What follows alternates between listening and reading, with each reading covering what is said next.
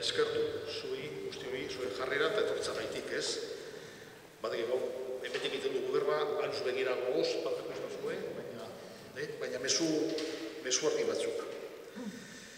Nik emango behar dutzat eskerra, bueno, BBKari, Bizkaiko Fondo Aldundiari, Gondra Barendearen eh, fundazioari eta ere noski, ba, Ziortza Bolibare udaletzeari.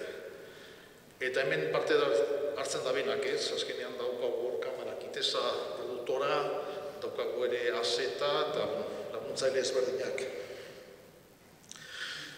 Bueno, gehienak badakizue, ¿no? Tenemos aquí un órgano que es el de Eusebio Echevarría, 1886, es el órgano más antiguo de, de, Euskadi, y tenemos en este monasterio la posibilidad de hacer eh, dos órganos, ¿no? En 1993, José María Echevarría, haciendo un guiño al órgano de arriba, hace, hace este órgano, y es de los pocos recintos, o el único que tenemos en, en Euskal Herria, dos, con dos eh, órganos. Y esto nos posibilita hacer un programa muchas veces donde hacemos unos diálogos o unos, un contraste de, de concierto a dos órganos. ¿no? Hoy nos acompaña un conocido, un viejo conocido, un chico joven, 30 años, de Iparralde, Tomás Hospital, y arriba tenemos a Inoa Barredo también, que en los últimos años es, colabora con nosotros y, y, y, a la hora de hacer los conciertos dos órganos, pues bueno, pues nos asesora y nos ayuda. ¿no? Koko kontzertua izango da ordu beteko kontzertu bat, ez daukagu batzedenik egingo, eta ere, sartu gara bezala, bueno, ba, irten behar gara patxadaz, eh, banan-banan, eta, eta poliki-poliki, ez. Ni izango zat, Tomás, te voy a ceder la palabra para que nos expliques un poco el programa de las tres partes que tenemos y, y cómo va a ir, ¿vale? Medellín, buenas tardes a todos. Es un placer estar aquí en, aquí en Senarusa y de, de tocar este instrumento que de verdad es uno de los más antiguos del País Vasco, pero tan, también uno de los más preciosos que tenemos aquí. Es realmente un placer.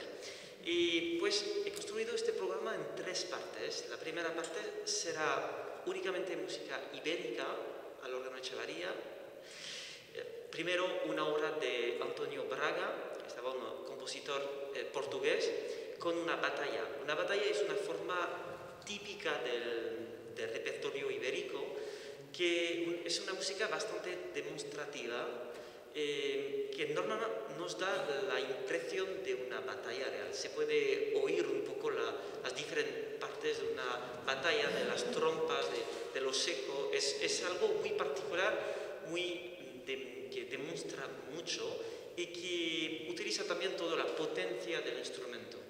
Eh, pues es una música muy, que, con mucho color. Después, de segunda, vas a oír el- las diferencias sobre el canto del caballero de Antonio de Cabezón.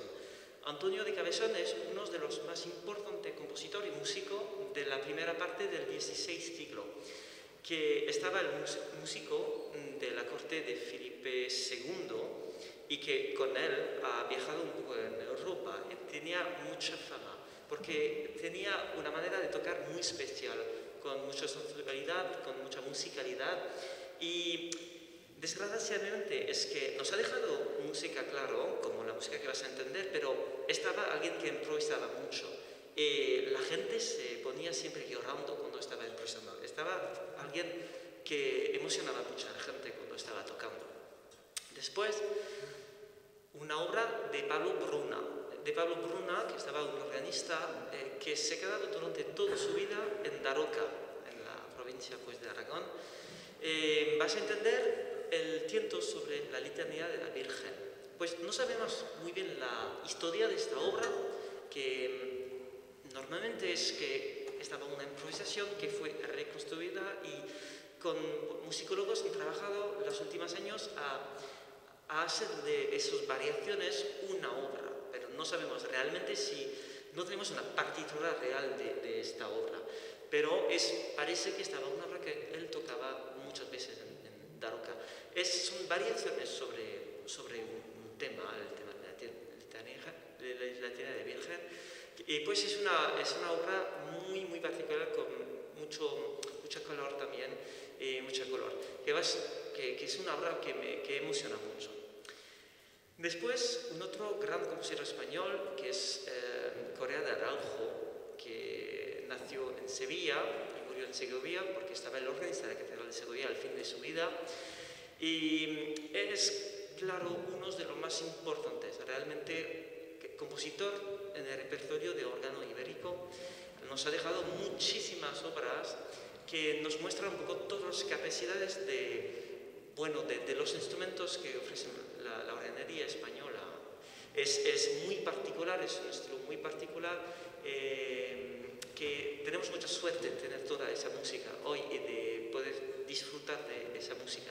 Pues de, de Corea de Araujo voy a tocar un tiento, un, tiento que, bueno, que, que, es muy particular y que, que vas, a, que vas a ver. Y voy a terminar esta primera parte con una batalla, una otra batalla, pero de un compositor anónimo. Pero como se ve en la escritura, parece un poco más tarde, a lo mejor del 18 siglo, porque bueno, la, música, la escritura es un poco más moderna que las otras que van a oír.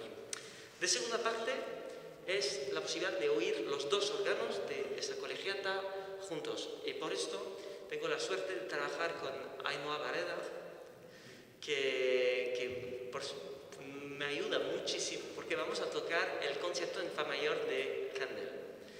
Em, claro, no tenemos la orquesta, pero Ainhoa va a tocar la parte de la orquesta en el órgano antiguo y voy aquí a tocar la parte solista en este órgano positivo. ¿Sabes?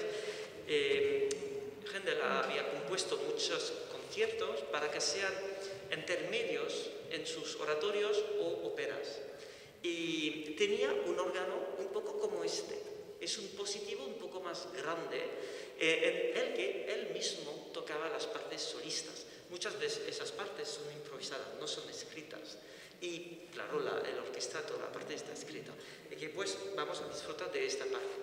Vamos también a tocar una obra de Antonio Valente, un compositor italiano, que van a, hacer como un eco de los instrumentos. Y voy a acabar este concierto con una improvisación un poco más moderna, utilizando un poco todos los colores del instrumento desde este instrumento de coro. Pues espero que vais a disfrutar de este concierto y os deseo lo mejor.